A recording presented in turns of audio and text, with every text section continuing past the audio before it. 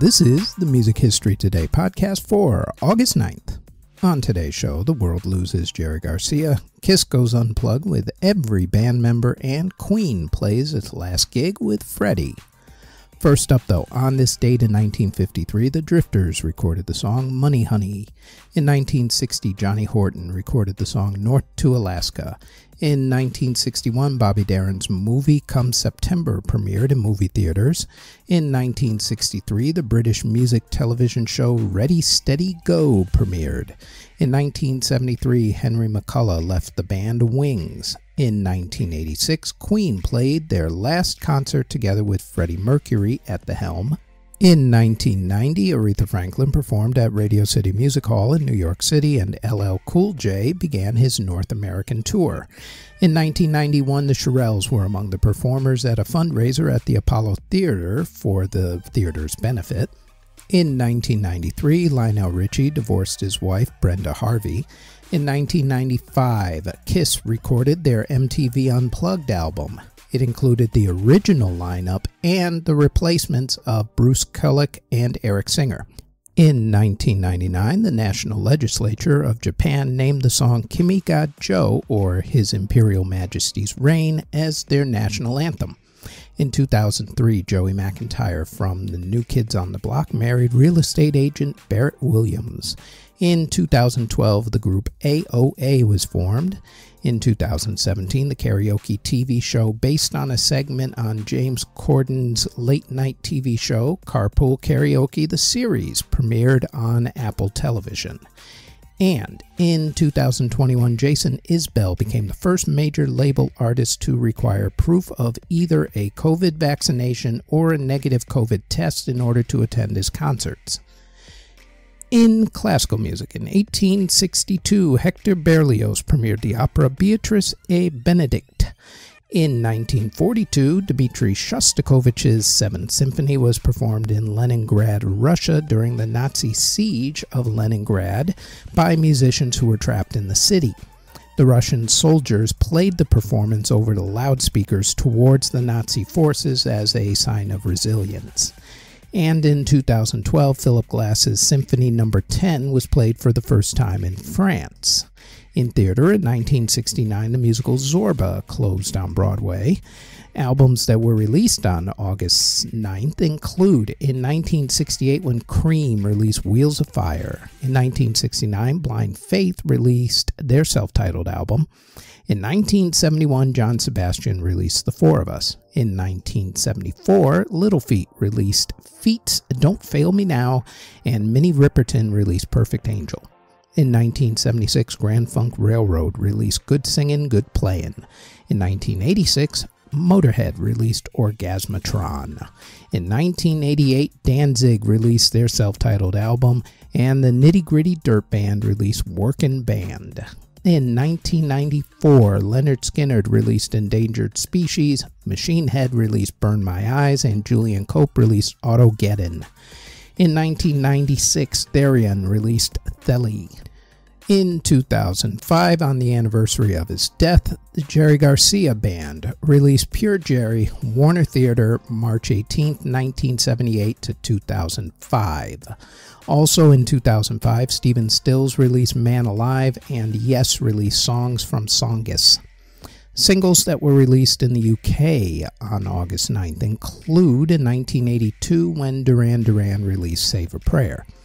Meanwhile, in America, in 1963, Jan and Dean released Honolulu Lulu. In 1967, the association released Never My Love.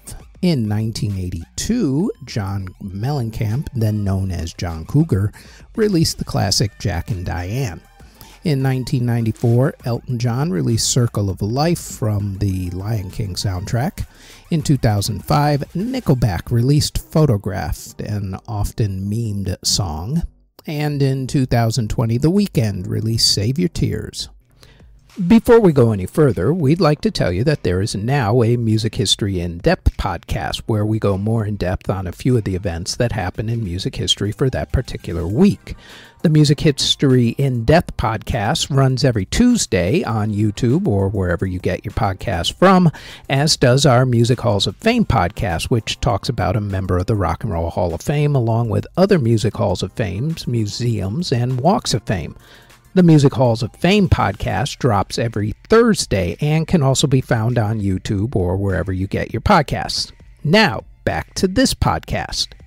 Artists who were born on August 9th include the legendary Miss Whitney Houston, also singer Juanes, singer and actress Anna Kendrick, composer Johann Michael Bach, not to be confused with Johann Sebastian Bach, Harry Mills of the Mills Brothers, rapper King Von, Rydel Lynch of R5, rapper Mingy, songwriter Bang Si-hyuk, singer AOJ, Sam Fogarino of Interpol, Arion Salazar of Third Eye Blind, singer Aimee Mann of 'Til Tuesday and also of solo fame, rapper Kurtis Blow, singer Barbara Mason, Benjamin Orr, the late Benjamin Orr of the group The Cars, singer Amanda McBroom, Rinus Gerritsen of Golden Earring, Viv Prince of The Pretty Things, Billy Henderson of The Spinners, country music singer Merle Kilgore, saxophonist Gene Barnes,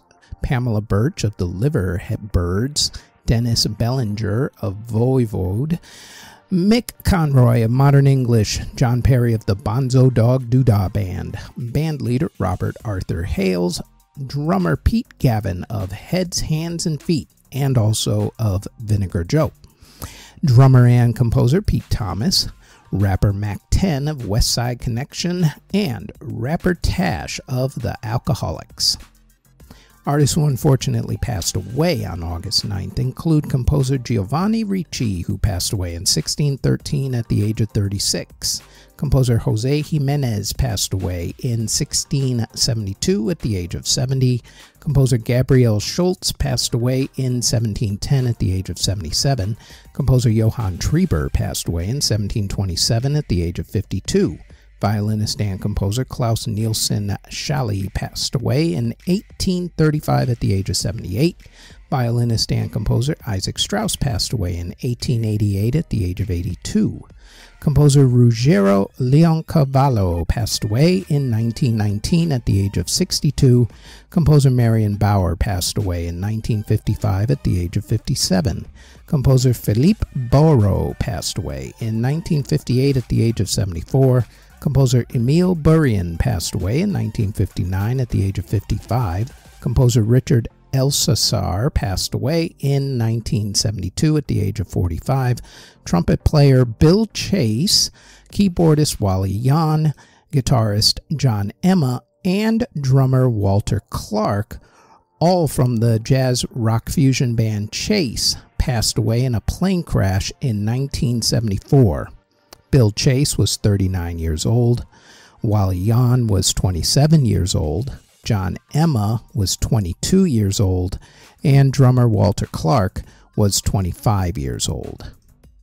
Composer Dmitri Shostakovich passed away from cancer in 1975 at the age of 68. Composer Max Vredenburg passed away in 1976 at the age of 72.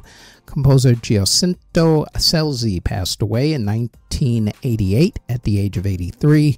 Violinist and composer William Russell passed away in 1992 at the age of 87. Saxophonist Clarence Ford passed away in 1994 at the age of 64. The legendary Mr. Jerry Garcia of the Grateful Dead passed away from heart issues in 1995 at the age of 53. Conductor Robert Satanowski passed away in 1997 at the age of 79. Singer Frankie Ruiz passed away in 1998 at the age of 40. Paul Samson of the group Samson passed away in 2002 at the age of 49. Opera singer Chester Ludgin passed away in 2003 at the age of 78. Jazz guitarist Tony Mottola passed away in 2004 at the age of 86. TV and film composer David Raksin passed away in 2004 at the age of 92. Saxophonist Mark Marush of the group The Fabulous Wailers passed away in 2007 at the age of 66. Saxophonist LeRoi Moore of the Dave Matthews Band passed away from pneumonia after an ATV accident in 2008 at the age of 46. Bassist Jasmine You of the group Versailles passed away in 2009 at the age of 30. Blues bassist Fuzz Jones passed away in 2010 at the age of 84. The producer who worked with Whitesnake and Iron Maiden, among many others, Martin Birch, passed away in 2020 at the age of 71. Bassist Darryl Hunt of the group The Pogues passed away in 2022 at the age of 72. And Rock and Roll Hall of Fame inductee Robbie Robertson of the group The Band passed away in 2023 at the age of 80.